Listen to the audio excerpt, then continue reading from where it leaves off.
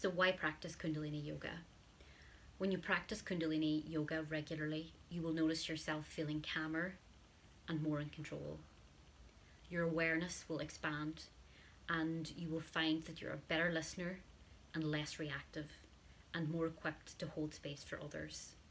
Ultimately, Kundalini Yoga has the potential to help you fulfill your own personal destiny.